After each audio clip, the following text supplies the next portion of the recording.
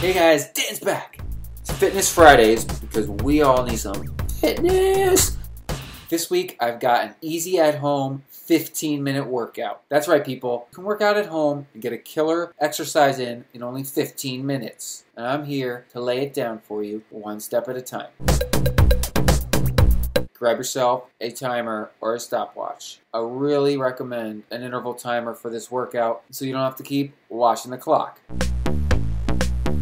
grab yourself a little bit of space. That's right, you just need yourself, preferably some clothes, a timer, and some space. Three exercises that you rotate every 20 seconds for 15 minutes. You are switching it up, your heart's gonna be going, you're gonna be sweating, you're gonna be done in less than a quarter of an hour. I'm here to recommend jumping jacks,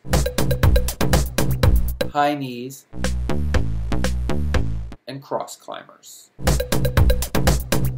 All of them touch nearly your entire body. And they also really hone in on the core. Jumping jacks, get your arms in that a little bit, definitely the legs, and a lot of core. It's hard, you're getting your heart rate up. High knees are very challenging. You're kind of running in place, but you're using your core muscles to really lift your legs up there.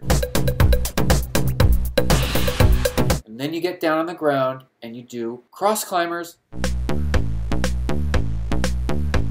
Work your arms because you're holding push-up position. Work your core because you're crossing your knees side to side. And it works your endurance, baby. Trust me, it works your endurance. 15 minutes doesn't sound like a lot. It's more than enough. Bang out a killer at home workout. You know you got 15 damn minutes in the morning before you hop in the shower or at night before you're having dinner. Bang out this workout. Pick and choose what you want or go with what I recommend. It's Fitness Fridays because we all need some fitness. Tune back in. More from Dan.